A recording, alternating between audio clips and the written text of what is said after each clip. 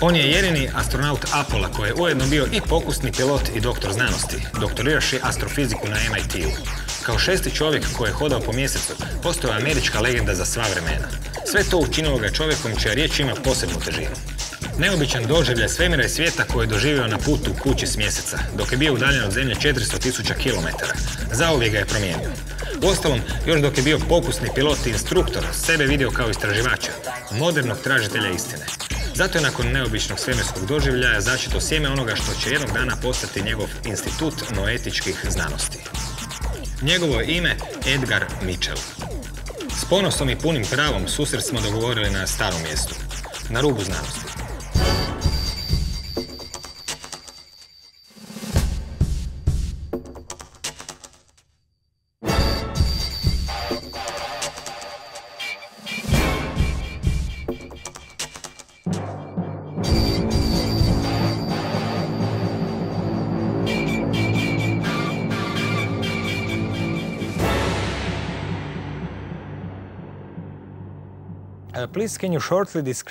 Možete li molim vas ukratko opisati vašu ulogu u programu Apollo i što vas je natjeralo da postanete astronaut?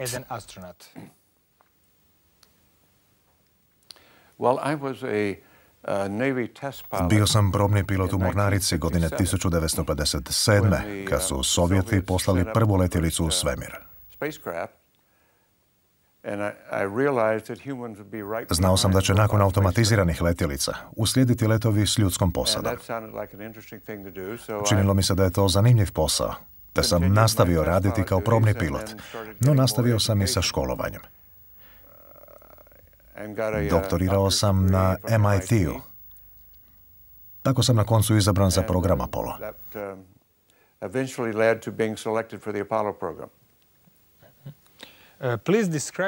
Molim vas, e, opišite nam vaš slavni doživljaj za vrijeme povratka s mjeseca, koji je odredio vaš daljnji život.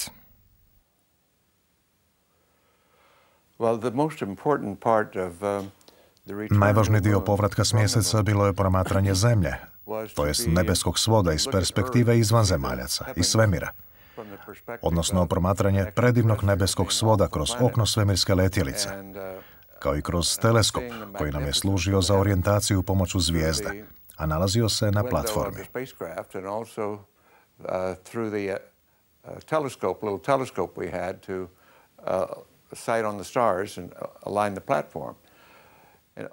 Bilo je fantastično gledati zemlju iz te perspektive. Moje se kolege slažu s time. Svi koji su se vraćali s mjeseca uživali su gledajući zemlju iz daljina.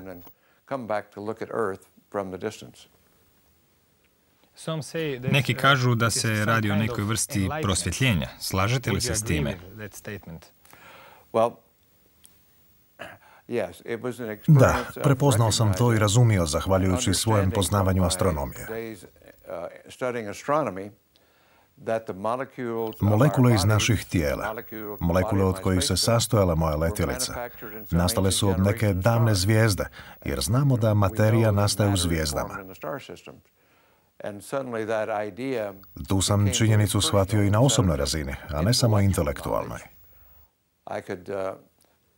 Mogao sam to osjetiti, kao i povezano s čitavim univerzumom.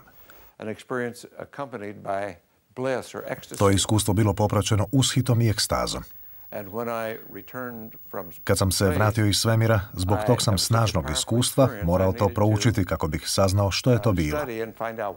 Nikada nisam tako nešto doživio. Uz pomoć studenta sa sveučilišta Rice u Houstonu počeo sam pretraživati literaturu. Naravno da ništa nisam pronašao u znanstvenoj literaturi. No u drevnim zapisima na sanskrtu starima 5000 godina pronašao sam nešto što se zove Salva Kalpa Samadhi. Taj izraz označava podijeljen način gledanja na stvari, ali ih doživljamo u unutrašnjosti, kao jedinstvo. I taj je doživljaj popraćen ekstazom. Pokazali su mi taj opis i bio je jednak mom doživljaju. Shvatio sam da priroda, kad smo u skladu s tim fantastičnim aspektom priroda, uzrokuje unutrašnji osjećaj ekstaze.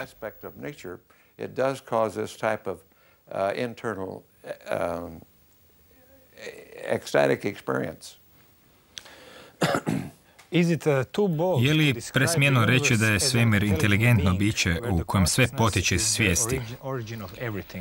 Je li to previše pjesnički rečeno?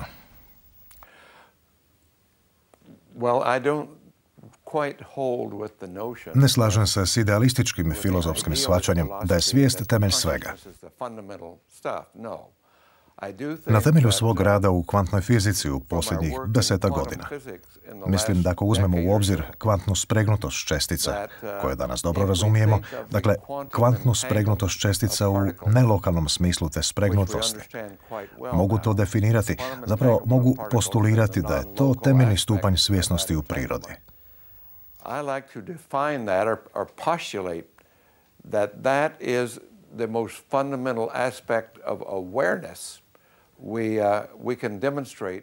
Drugim riječima, čestice koje se sprežu, bez obzira na to gdje se nalazile u svemiru, u odnosu jedne naprema drugoj.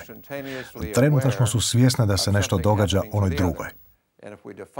Ako to definiramo kao svjesnost, one reagiraju na to.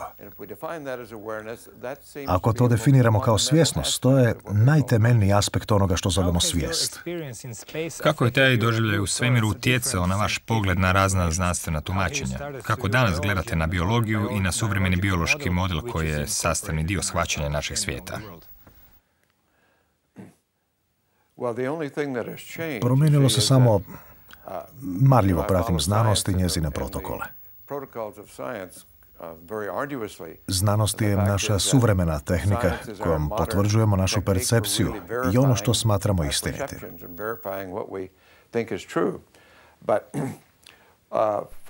Ali već 400 godina od vremena Newtona i Descarta znanstvena zajednica izbjegava temu svijesti, jer je uvjerena da to spada u teologiju, a ne u znanost.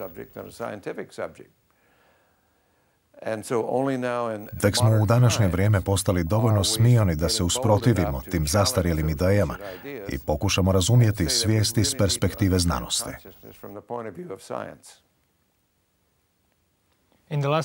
U posljednjih je nekoliko desetljeća DNK postala vrlo popularna. Kako vi gledate na DNK? Slažete li se s objašnjenjima da je DNK neka vrst kvantnog procesora koji služi za nelokalnu izmjenu informacija? Krije li se po vašem mišljenju u DNK još mnogo iznenađenja? To je možda istina. Ne poznajem dovoljno molekularnu biologiju, kao ni proučavanje DNK, da bih mogao govoriti o tome. No, mogu reći da je u posljednjih deseta godina, točnije prije 12 godina, dr. Schemp iz Njemačke otkrio takozvani kvantni hologram. To je nelokalna kvantna struktura.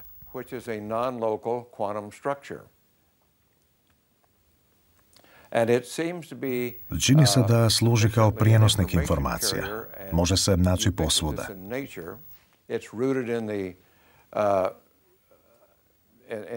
Temeli se na fenomenu emisije i apsorpcije na kvantnoj razini prirode. I čini se da je to mehanizam pomoću kojeg priroda uči. Razmjena informacija između materijalnog objekta i njegova okoliša dokazuje da je evolucija sustav koji uči, a ne da se nasumišno razvije.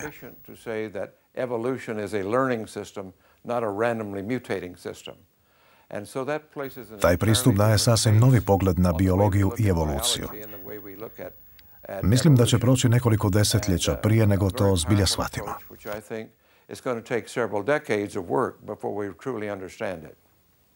Možda smo kod upoznavanja s Edgarom Mitchellom preskočili koju bitnu točku. Da to tako ne ostane, pobrinuo se Giuliano Marinković. Doktor aeronautike i pokusni pilot Edgar Mitchell priključio se Američkoj svemirskoj agenciji NASA 1966. godine. 31. siječnja 1971. raketa Saturn V ponijela je trojicu astronauta prema mjesecu. Šest dana kasnije svemirska misija Apollo 14 doživjela je svoj vrhunac. Bilo je to treće uspješno slijetanje na mjesec. Astronaut Edgar Mitchell postao je šesti čovjek koji je kročio na mjesec. Na mjesečevoj površini prikupljeno je oko 45 kg raznih uzoraka. Znanstveni i tehnološki triumf čovječanstva predstavljao je za Mitchella kontinuitet njegove dugogodišnje potrage za smislom života. Gledajući kroz prozor svoga svemirskog broda, Ed je doživio osjećaj potpune povezanosti, kao da su svi ljudi i planeti u svakom trenutku povezani nekom nevidljivom mrežom. Osjećao je prisutnost ogromnog polja svijesti koje od početka vremena povezuje sve žive i nežive oblike materije, sve ljude, njihove namjere i misli. Svaka misa utjecala je na ostatak svemira, a svaki događaj u svemiru istovremeno utjecao na misli. Vrijeme je predstavljalo običnu umjetnu tvorevinu.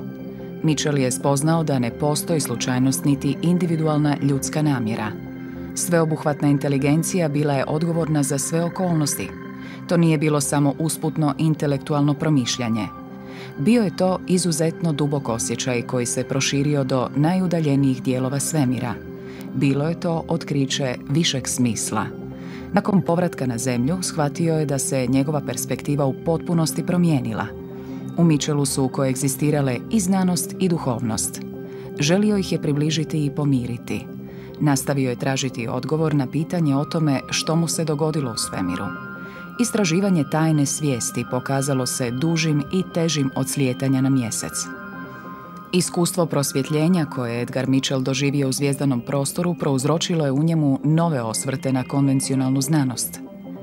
Znanstveno tumačenje biologije, posebice svijesti, sada mu se činilo nepotpunim.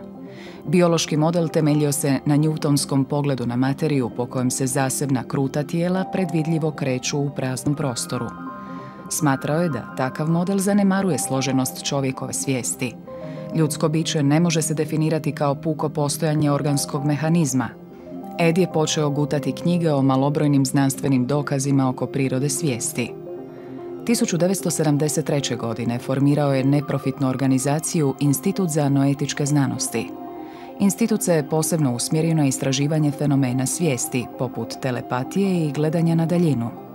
Ignoriranje takvih fenomena od strane znanstvene zajednice glavni je razlog zašto se cijelo polje još uvijek nalazi u paranormalnoj domeni. U svojoj potrazi Ed je uspostavio veze sa znanstvenicima s brojnih uglednih sveučilišta kao što su Yale, Berkeley, Princeton i Edinburgh.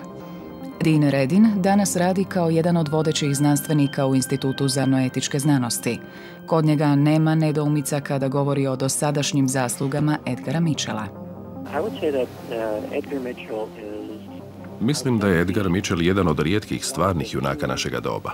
Njegov put na mjesec predstavlja nevjerojatan pothvat na samoj granici našega svačanja znanosti i tehnologije. Ovdje nije riječ samo o mitologiji i pričama. On je to uistinu i ostvario. To je tako nevjerojatno da mi je teško i pojmiti. On je junak cijelog čovječanstva. Osim što je imao hrabrosti učiniti to što je učinio, imao je dovoljno hrabrosti reći da možda još nismo do kraja razumjeli znanost.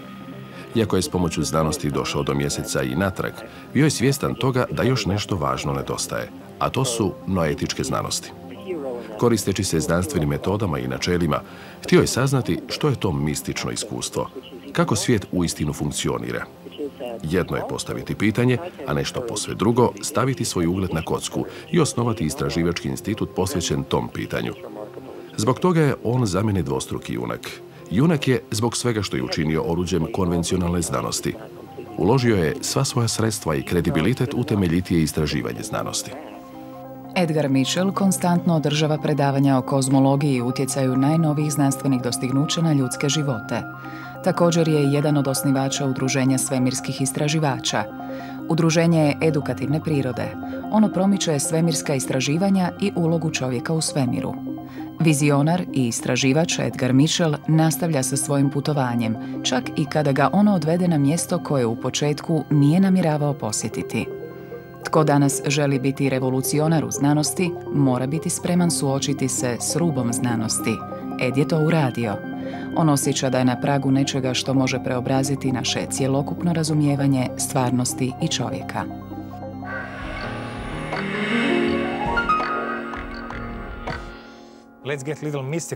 Budimo sad malo mistični. Smatrate li točnu pretpostavku da svakim našim djelovanjem ili svakom našom mišlju utječemo na ostatak svemira? Postoji li bilo kakav dokaz da je naš unutrašnji svijet povezan sa izvanskim svijetom?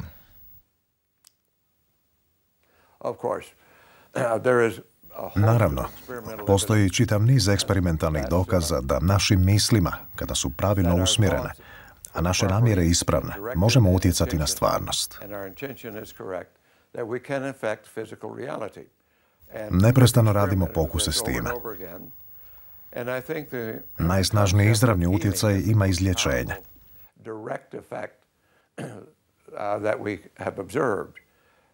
Vidio sam to u mnogim slučajevima. Dobro smo to proučili. Sam sam to proučavao i doživio u vlastitim problemima sa zdravljem. Najviše istražujemo u tome području. Pomoću vlastitog uma i razumijevanja provodimo vlastite zdravstvene mjere.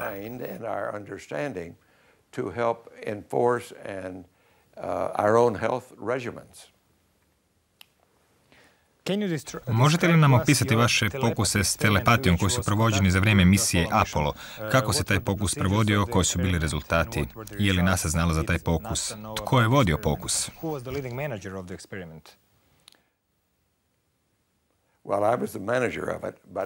Bio sam voditelj tog projekta, ali korišteni su isti protokoli koje godinama koriste i parapsiholozi u laboratorijima. Ja sam samo prekopirao takozvane Zenerove karte. Pet karata na kojima se nalaze zvijezda, križić, krug, valovite linije i kvadrat.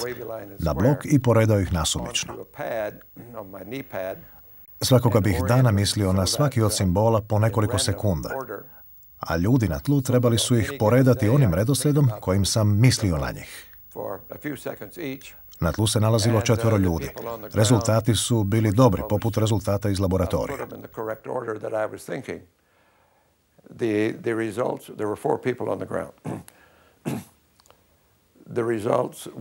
Izgledi da su ti rezultati nastali slučajno su jedan prema tri tisuće. Ali nije se radilo o slučajnosti, već o namjernom rezultatu.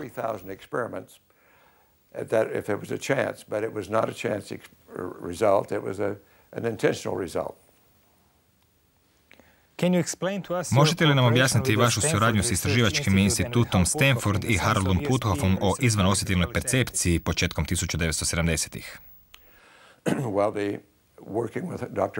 Početkom 1970-ih surađivali smo s doktorom uh, Puthoffom i Russellom Targom. Radili smo s mnogo medija, ali ja sam sponzorirao našu suradnju s Surijom Gellerom 1972. i 73. godine. Bio je vrlo moćan. Dobili smo dobre rezultate. Tako smo otkrili i dodatne dokaze o psihokinezi i o tome da je um snažniji od materije. Nastavili ste suradnju s Haroldom Puthoffom sve do danas. Koji su vaši zaključci i objašnjenja o fenomenu izvan osjetilne percepcije kad uzmete u obzir sva dostignuća na tom polju? Radi se o 30-40 godina istraživanja.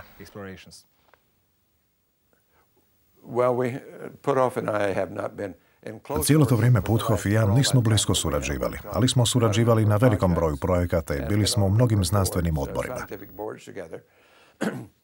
Uh, I njega i mene zanimaju takva pionirska istraživanja, poput uloge polja energije nulte točke u prirodi i kozmologiji, kao i mogućnost iskorištavanja energije nulte točke. Sva se ta istraživanja nalaze na samom rubu znanosti, no ipak se polako napreduje.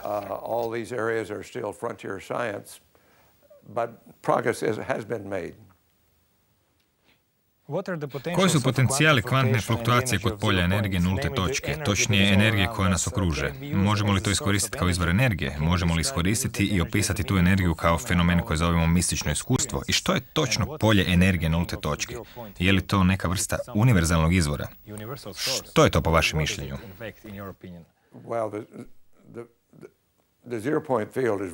Polje nulte točke može se jednostavno definirati. Poznato je da sva materija neprestano emitira i reabsorbira energiju. Otkriveno je da čak i kad se materija nalazi na temperaturi od 0 Kelvina, odnosno na apsolutnoj nuli, ona još uvijek emitira i reabsorbira kvantne čestice, iako je molekularno kretanje prestalo. Molekularna aktivnost prestaje na apsolutnoj nuli, ali emisija i reapsorpcija fotona se nastavlja. Zato se to zove energija polja nulte točke.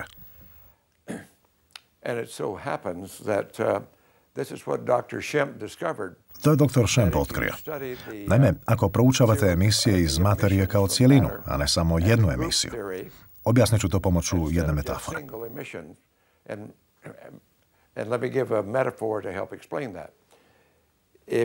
Ako pogledate linije na jagodici prsta, one neće puno otkriti o čovjeku, ali linije na svih deset prstiju mogu identificirati čovjeka. To su otisci prstiju.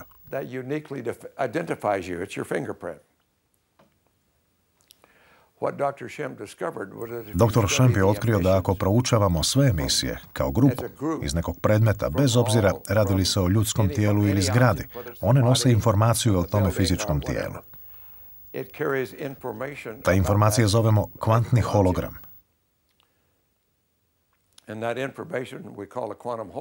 Nije lokalan kao i ostali kvantni fenomeni i prenosi informacije nelokalno. Zato možemo reći da se prenosi energijom polja nulte točke. Dokazi upućuju da je to temelj naše percepcije. Postoji izreka da je intuicija naše šesto čulo.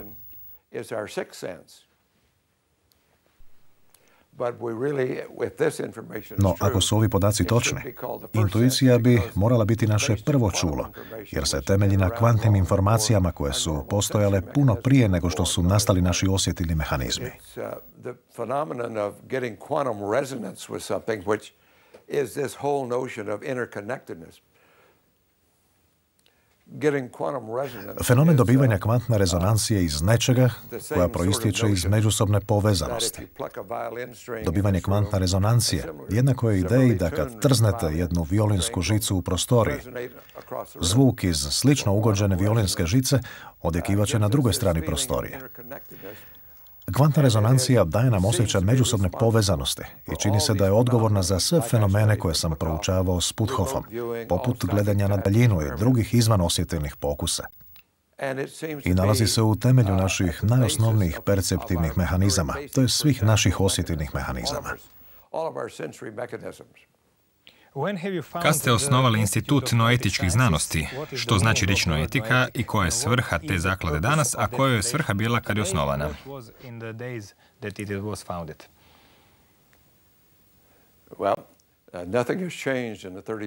Ništa se nije promijenilo u ovih 36 godina od kada sam osnovao noetiku. Noetika se odnosi na način na koji poimamo informacije i naše intuitivne sposobnosti pomoću kojih dolazimo do informacija. Riječ noetika dolazi od grčke riječi nous, a označava nešto što se odnosi na um. Institut noetičkih znanosti osnovao sam krajem 1972. odnosno početkom 73. godine, kako bih mogao proučavati fenomene koje znanost već 400 godina odbija proučavati.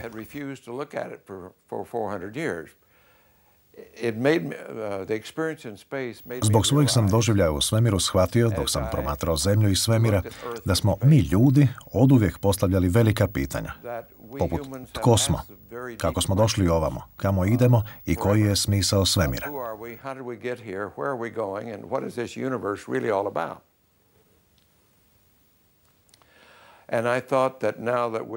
Budući da smo okrenuli u svemir, pomislio sam da je vrijeme da ponovno postavimo ta pitanja, ali iz nove perspektive.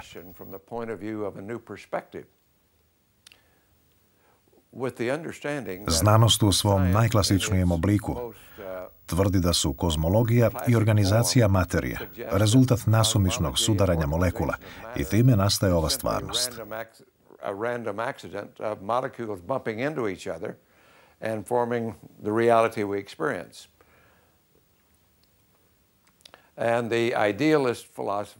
Idealistička filozofija tvrdi da se radi o svijesti i da se materija zapravo nalazi u umu svijesti, odnosno da je iluzija svijesti.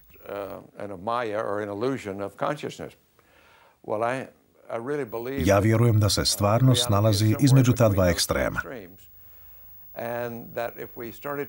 Ako počnemo proučavati svijest uz pomoć znanosti, mogli bismo nešto i naučiti. S time sam započeo prije 30 godina. Puno toga smo postigli. Još nismo riješili problem, ali znanost je mnogo napredovala u posljednjih 36 godina. Znanost je učinila prodor u proučavanje svijesti i svojim je metodama počela istraživati te prolazne pojave to uh, investigate these rather ephemeral uh, subject matter. Koliko ljudi radi u Institutu na etičkih znanosti i možete nam opisati neka istraživanja koja se provode u institutu?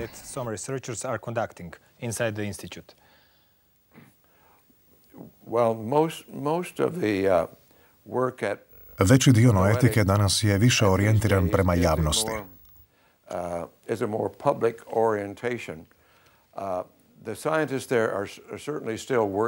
Znanstvenici dalje rade na... Imamo malu skupinu znanstvenika, njih desetaka. Jezre organizacije sastoji se od četrdesetak ljudi koji rade na proučavanju transformacije i njezina utjecaja na društvenu strukturu.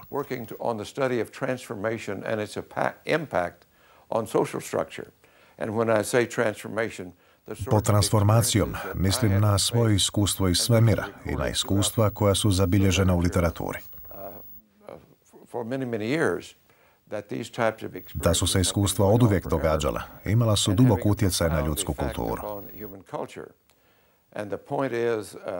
Zbog tih iskustava, poput susreta sa smrću ili izvan tjelesnih iskustava i tako dalje, koje su Grci zvali metanoja ili promjena uma, više ne možete biti nasilni. Otkrivate sklad i mir u prirodi, kao i mir u sebi be violent. You find harmony in nature, you find peace in nature, you find peace in yourself. And so not only is tako da neotika nije samo znanstvena institucija koja se koristi znanstvenim metodama, već je i aktivistička institucija koja radi na promicanju proučavanja transcendentalnih iskustava, te pokušava otkriti kako bi se ta iskustva postigla na lakši način. Meditacija koja je vrlo cijenjena u vjerskim kulturama, u istočnjačkim kulturama, jedan je od drevnih oblika. Mi posljednjih godina radimo na novim oblicima kako bismo potakli nove tipove introspektivnih transcendentalnih iskustava.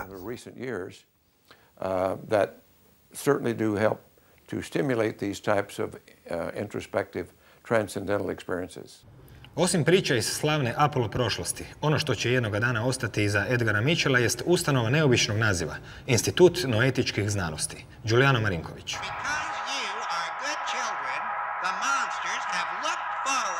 1973. godine astronaut Edgar Mitchell formirao Institut za noetičke znanosti. Jedan od vodećih znanstvenika u institutu je i dr. Dean Redin, Magistrirao je elektrotehniku, a ima i doktorat iz eksperimentalne psihologije sa sveučilišta Illinois. Tijekom njegove karijere uvijek su ga zanimali potencijali ljudskog uma.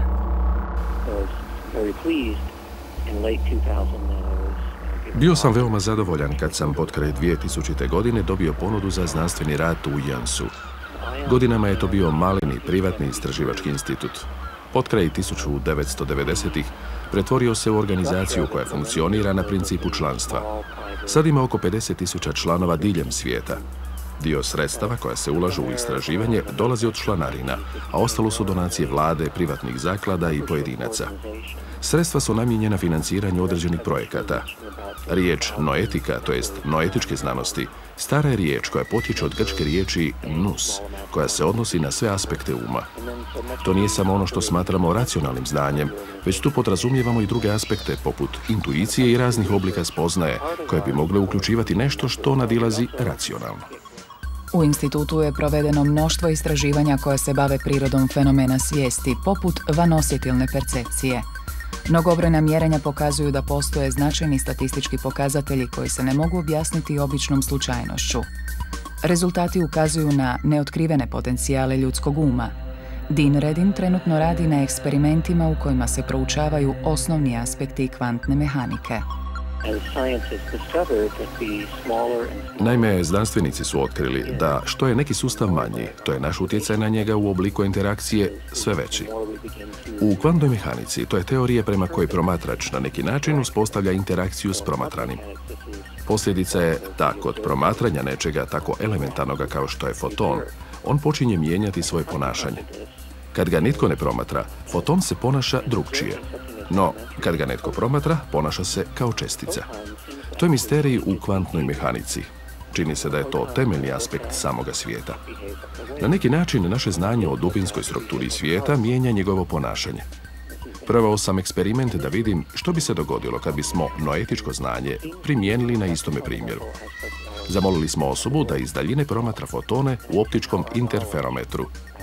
U eksperiment smo uključili osobe koje se dugo i aktivno bave meditacijom i one koje ne meditiraju.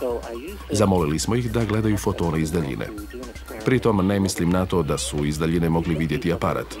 Aparat je bio zatvoren u zamračenoj prostoriji, a sudionici eksperimenta bili su izvan prostorije i pokušavali su ga vidjeti umom. Prvo smo zamolili osobe koje se aktivno bave meditacijom da pokušaju vidjeti fotone, a zatim i one koje ne meditiraju. Rezultati su jasno pokazali da su se fotoni ponašali kao čestice u trenucima kad su ih osobe koje se bave meditacijom pokušavale vidjeti, za razliku od trenutaka kad ih i nisu pokušavale vidjeti. Kad smo usporedili rezultate, bilo je očito da su na sve promjene tijekom eksperimenta utjecale osobe koje se bave meditacijom. Time se povećava i njihova sposobnost izvođenja ovakvih zadaća na daljinu.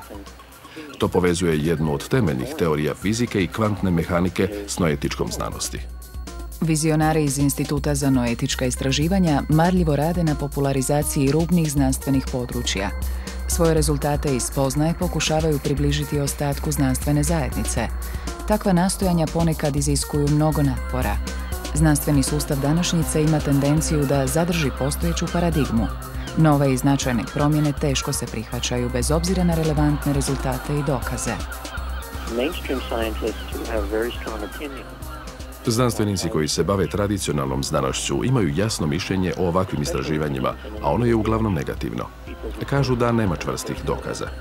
No u većini slučajeva oni ne znaju o čemu govore. Nemaju točne podatke. Svatko ima pravo na svoje mišljenje, ali pitanje je što se događa kad tradicionalne znanstvenike koji se zanimaju za to područje upoznate s nekim podacima. Prošlog smo ljeta imali priliku ispitati tu ideju. Organizirali smo dvodnevnu konferenciju na koju smo pozvali 60 isteknutih znanstvenika. Prvi dan predstavili smo im velik broj dokaza s različitih područja parapsihologije. Drugi smo dan diskutirali o metodologiji, povijesti i tako dalje. Nakon svakog razgovora zamolio sam sudionike da zabilježe trenutačnu razinu vjerovanja u postojanje tih fenomena. Htio sam vidjeti kako se procjena onih koji na početku nisu vjerovali u mogućnost postojanja tih fenomena mijenja s porastom broja dokaza koji upućuju na to da se nešto uistinu događa. Nije riječ samo o dokazima, već i o rezultatima eksperimenata koji su provedeni na isti način kao i uobičajeni znanstveni eksperimenti. Analiza je jasno pokazala da su oni sudionici koji su na početku konferencije imali izrazito negativno mišljenje, na kraju imali izrazito pozitivan pomak u procjeni vlastite razine vjerovanja. Nakon dva dana rasprava, prezentacija i iznošenja dokaza, oni drastično promijene mišljenje. To ne znači da su odjedanput svi tradicionalni znanstvenici postali vjernici, ali to pokazuje da su postali svjesni dokaza. To je drastično promijenilo njihovu procjenu vlastite razine vjerovanja.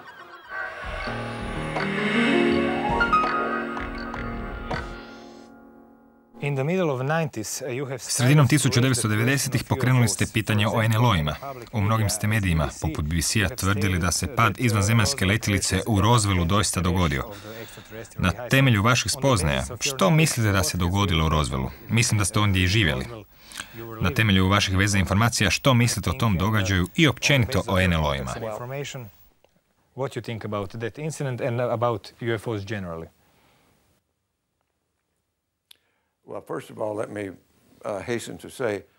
Kao prvo htio bih reći da nikada nisam susreo izvan zemaljce ili NLO. However, uh, I was born and raised, I was raised in the vicinity of Roswell, and my family knew many of the people No odrastao sam u blizini Rozvela i moja obitelj poznavala mnoge koji su bili uključeni u takozvani događaj u Rozvelu. Iako je naša vlada sve to zataškala. Ti su se ljudi cijeloga života kleli da se to uistinu dogodilo.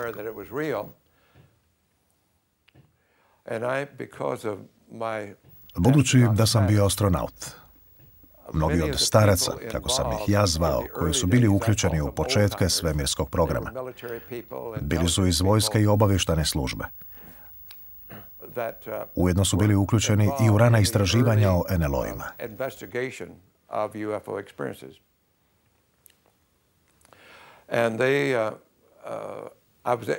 Imao sam čast da su me uputili u to. Iako mi to nisu smjeli reći iz sigurnosnih razloga, htjeli su to prije smrti s nekim podijeliti i rekli su mi da se to uistinu dogodilo. Uz to prije nekoliko sam godina imao sastanak u Pentagonu o tome jer sam postavljao pitanja. Jedan me visoki časnik ispitivao o onome što znam.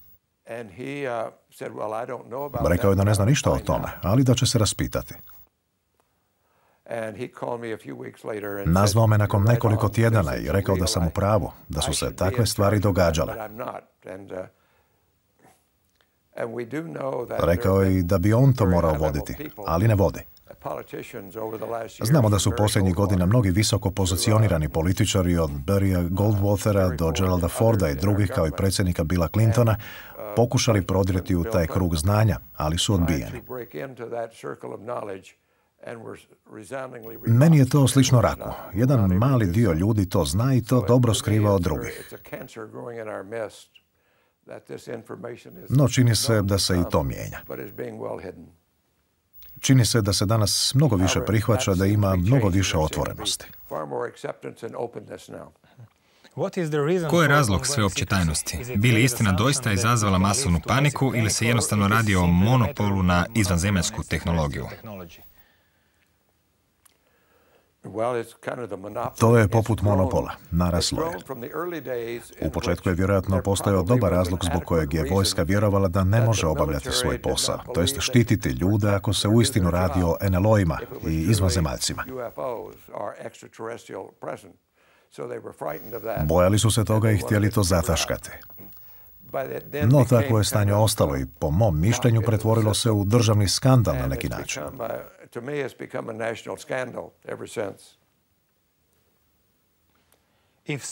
Ako se netko uistinu dokopao izvan zemaljske tehnologije koja se temelji na reverzibilnom inženjeringu, tko bi to mogao biti?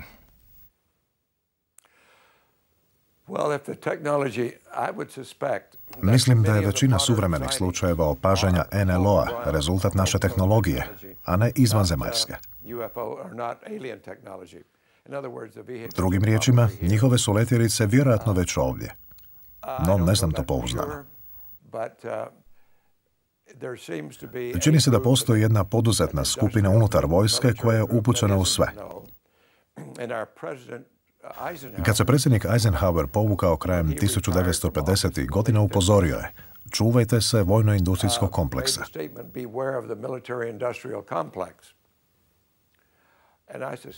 Mislim da se njegova izjava odnosila upravo na to, odnosno na tajne planove i tehnologiju koja još nije dostupna javnosti.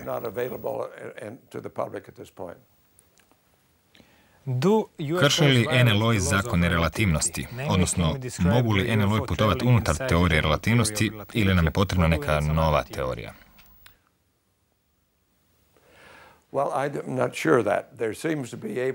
Nisam siguran u to. Čini se da to mogu učiniti u granicama teorije relativnosti, ali sve ovisi o pogonskom sustavu. Mislim da se radi o antigravitacijskom sustavu, ali mi koji nismo u to upućeni ne možemo biti sigurni. Čini se da je pogonski mehanizam takav.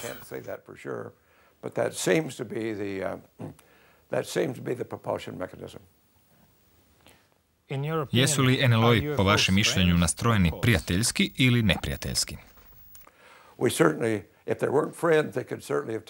Da su neprijateljski nastrojeni, već su nas mogli pokoriti.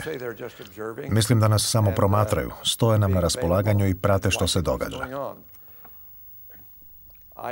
Uopće ih se ne bojim. Imamo više problema s našom kulturom i ratobornošću nego s NLO-ima. and our warlike behavior than we do uh, from the UFO phenomenon. Mislite li da i vlade drugih zemalja, osim SAD-a, znaju za postojanje izvanzemljana na zemlji? Jesu li neke vlade otvorenije prema tome i možda ne skrivaju ništa?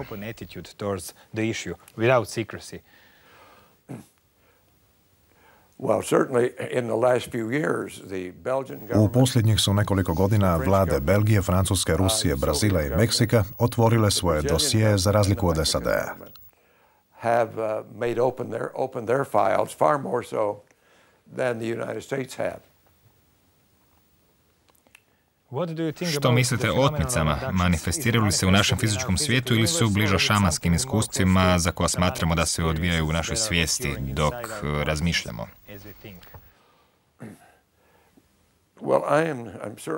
Ne smatram se stručnjakom u tom području, uh, ali mislim da postoje dobra svjedočanstva o otmicama. No to ne proučavam, te ne mogu dati stručno mišljenje o tome. Treba li se UN uključiti u istraživanja NLO-a? Kad otvorimo tu temu, kad činjenice postanu dostupne javnosti, mislim da će to zanimati cijeli svijet. NLO-i su viđeni u gotovo svim državama. Kako bi čovječanstvo reagiralo kad bismo doznali da nismo jedina inteligentna vrsta u svemiru? Je li se to stajalište promijenilo u usporedi s mentalitetom ljudi u posljednjih 20-30 godina?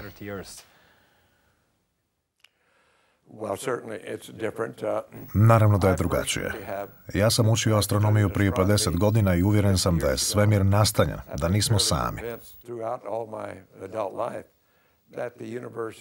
Uz milijarde planeta i zvijezda u svemiru, bila bi ludost misliti da jesmo.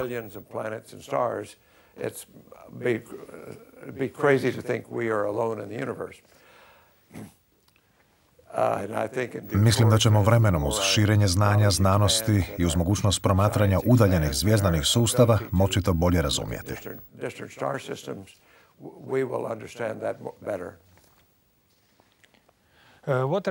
Što mislite o temeljnoj kozmološkoj teoriji o velikom prasku? Koji su glavni prigovori toj teoriji? Imate li neku drugu teoriju koja bi možda mogla bolje opisati svemir ili ne?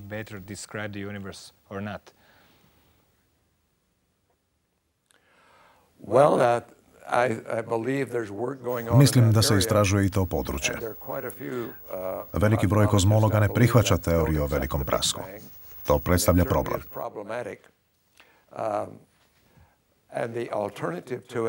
Alternativa toj teoriji proizlazi iz formalizma kvantne holografije, koja i mene zanima. A otkrio je dr. Šemp i na njoj danas mnogi rade. Ta teorija pokazuje kako je materija mogla nastati iz energije polja nulte točke, a i dalje nastaje iz tog polja.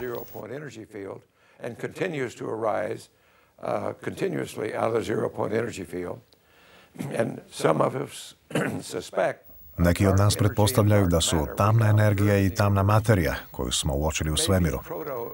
Zapravo protomaterija u tvorbenom obliku. Dakle, prije nego što uslijed gravitacije stvori zvijezdani sustav ili složenije materije.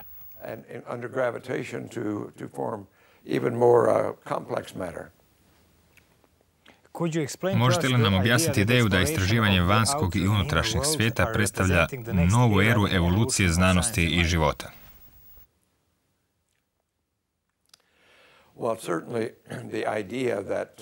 Ideja da moramo shvatiti naše unutrašnje procese, naše mentalne sposobnosti te neurologiju našeg mozga i tijela imala je velik utjecaj na biologiju. Pomogla nam je shvatiti da se kvantna mehanika ne odnosi samo na subatomske čestice, već i na makroskopski svijet, bez obzira na veličinu. Tek smo škrinuli vrata u biologiju kako bismo shvatili kvantni aspekt biologije. Treba će nam nekoliko desetljeća da potpuno istražimo sve implikacije ove teorije.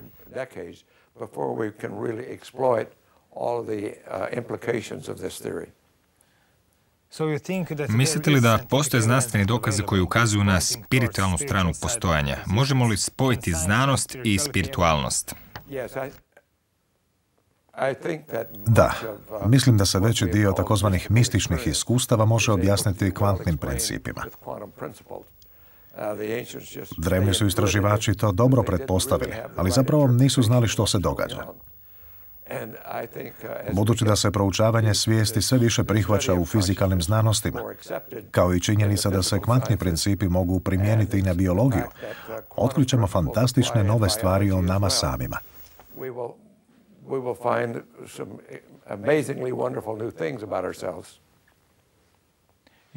Uključeni ste u proučavanje svijesti. Što mislite o razvoju umjetne inteligencije u budućnosti? Koja bi bila razlika između inteligencije i svijesti u čipu i u biološkom mozgu?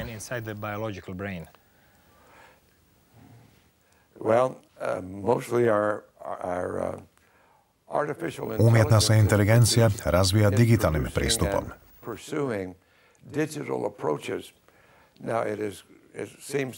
Čini se da je naša svijest, biologija našeg mozga, analogni sustav, a ne digitalni.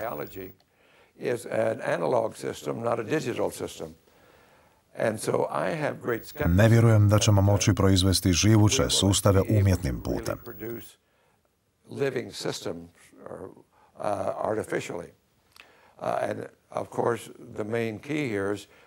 Naravno, ključ u biologiji je što ne znamo što čini životnu silu. Po čemu se živući sustavi razlikuju od neživućih sustava?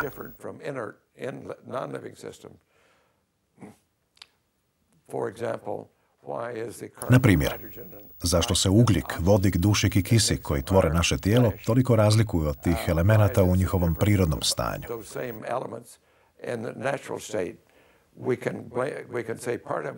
Možemo reći da se to dijelom odnosi na kvantnu međupovezanost i kvantne principe, ali čini se da to nije sve.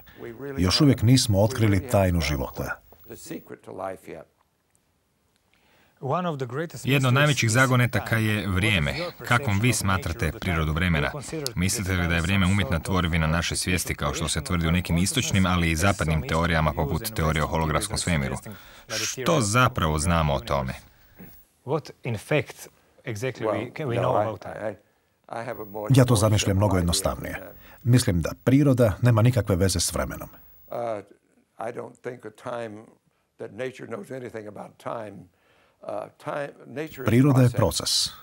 a u svemiru se odvijaju samo procesi. Vrijeme je naša konstrukcija kojom opisujemo brzinu procesa, a temelji se na revoluciji našeg planeta i na revoluciji našeg planeta oko Sunca. Vrijeme je mentalna konstrukcija.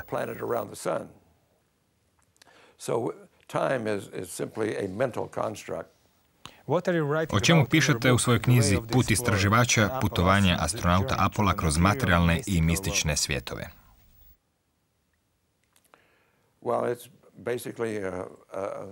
To je dijelom autobiografski prikaz mog putovanja na mjesec.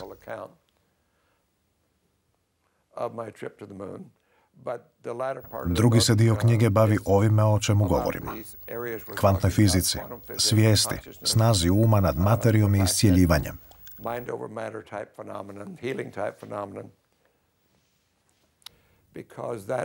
To se sve nalazi na samom rubu znanosti i treba to istražiti. Klasična znanost to ne može, ne daje nam odgovore koje trebamo. Mislite li da ćemo u budućnosti moći putovati do udaljenih zvijezda? Mnogo nas toga sputava.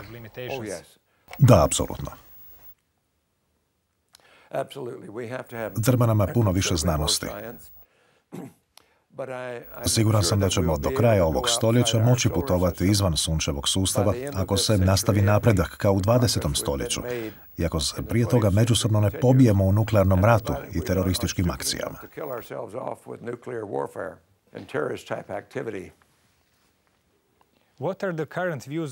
Kako sveučilište danas gleda na vaše proučavanje svijesti? Prihvaćaju li vaše otkrića? Postoji li na njima otpor prema Newtonovskom i Darwinovskom pogledu na svijet i u dualizmu u fizici?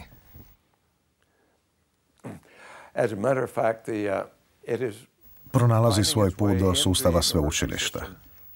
Ide polako, ali postoji nekoliko vrlo uglednih sveučilišta koja proučavaju svijest i pritome se koriste neurologijom, biologijom i psihologijom. Te se znanosti ujedinjuju. To se događa polako, ali se ipak događa.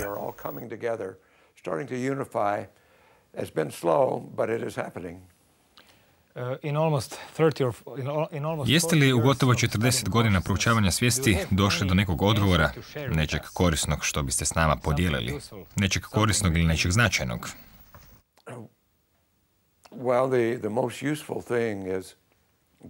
Dobro je što naše misli mogu promijeniti stvari. Uh,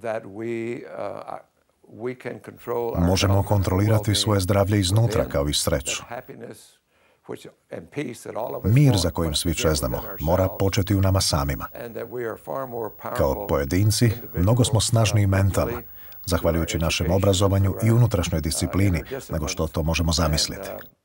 Kad uspijemo ostvariti svoj puni potencijal, neće biti granice našim postignućima. Gospodine Mitchell, puno vam hvala. To je bilo sve. Hvala vama. Bilo mi je drago sudjelovati. Bila je ovo priča Edgara Mitchella, još jedna koja govori o sveopćoj umreženosti svemira i nas i svim još neostvarenim potencijalima naše svijesti. Naravno, gotovo je samo za večeras. Već sutra ujutro možete provjeriti na sebi. Kao što je to Robert Redford u ulozi kockara na kraju jednog filma rekao, igra nikada ne završava. Stoga ne možete pobijediti. Ali zato ne možete ni izgubiti. Čuvajte se i lako noć.